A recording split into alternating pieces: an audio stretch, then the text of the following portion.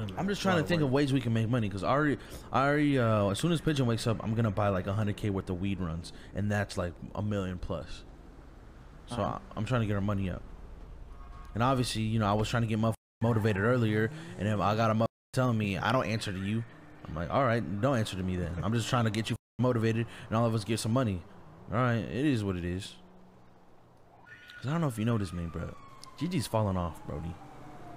Probably already realized. you mean? this, but- What I what I said, bro. GG's falling off How? every way possible.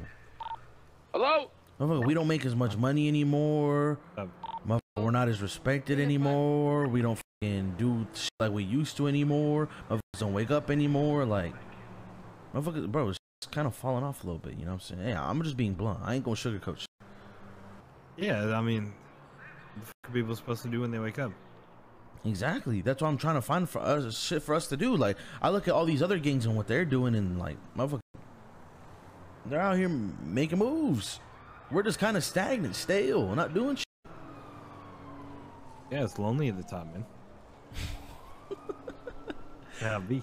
Yeah, you're not wrong. You're not wrong. I don't know. I'm trying to come up with ideas and shit. You know what I'm saying? Cause with that boy Marty, you know, being gone for a little bit, you know, it'd be nice if he came back.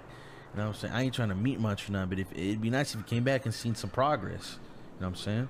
Motherfuckers only make progress when he's around and he's there to yell at them. Like, why don't motherfuckers take initiative and make progress when he's not around? Like, that's when it really matters. Like, what the Because we've been telling you this for months.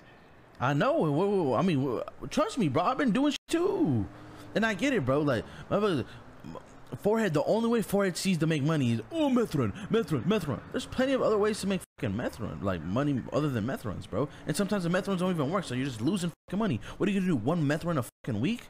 Make 200k a week? Like, come on. Right. So that's why I'm trying to come up with different ways and shit. But I mean, me and 4head, we're gonna go uh, buy some meat boxes, and make some money. Motherfucker went to sleep. I get told uh, people don't answer to me, so fuck off. And then um I don't know. I'm gonna get So- the. I'm gonna get the hang around see if they want to clean bags, but ain't nobody got ain't nobody got no bags.